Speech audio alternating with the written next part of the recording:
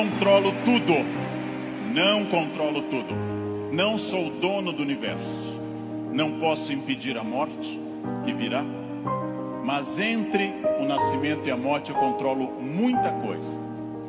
Toda crença em destino, vocação, talento, é uma crença que tende a disfarçar o que de fato faz a diferença, e o que de fato faz a diferença é o esforço. Eu tenho uma sorte imensa quando as pessoas me dizem: Leandro, você tem sorte. Eu tenho uma sorte imensa, e essa sorte se repete diariamente, porque eu acordo às quatro da manhã. Essa é uma sorte diária. Basta eu começar a dormir o dia todo que a sorte se vai. Ninguém me controla e eu acredito, como os filósofos gregos, que a vida pode ser mais racionalizada. Eu acredito que eu tenha condições de interferir na minha vida.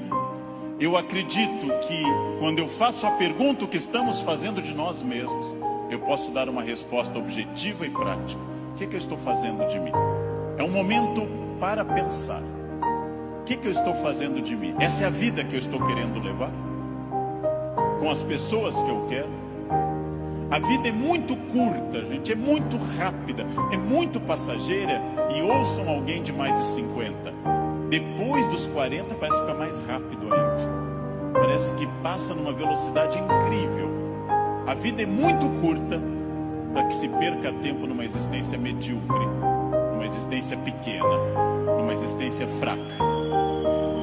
A vida é muito curta para que eu tenha uma família que eu não ame, para que eu tenha um emprego que eu não goste, para que eu tenha um trabalho que eu não me dedique. Ela é muito curta para eu ser medíocre. É muito pouco tempo para isso. Perguntem o que estamos fazendo de nós mesmos e sigam o conselho que Sócrates fundou a filosofia ocidental. Conheçam-se, conhece a ti mesmo, conhecimento de si. Sigam esse conselho. Sigam essa ideia de saber quem vocês são. Se eu me conhecer, ninguém me ofende. Se eu me conhecer, ninguém me ataca.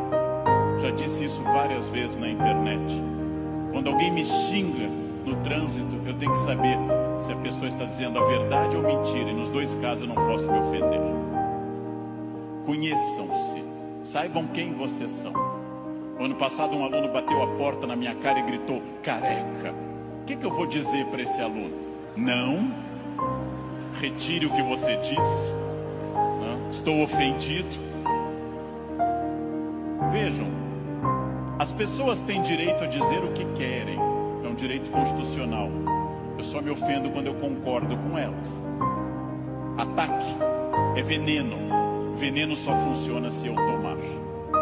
A vida é muito curta para que eu perca tempo com babacas cheios de ódio vida é muito curta para isso.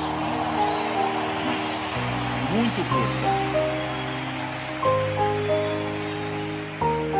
Evitem esse problema. Quem se conhece não se olha como Superman e na verdade é o pateta. Quem se conhece sabe dos seus limites e explora esses limites ao máximo. Quem se conhece sabe, talvez eu não tenha vindo ao mundo tão bonito, talvez eu não tenha vindo ao mundo tão alto, tão rico, tão hábil em línguas, eu posso fazer muito com isso. Muito. Posso esticar esses limites ao máximo. É fundamental conhecer-se. Sempre, sem exceção, sem nunca perder de vista que consciência é a chave da transformação. Consciência é a chave de todas as transformações.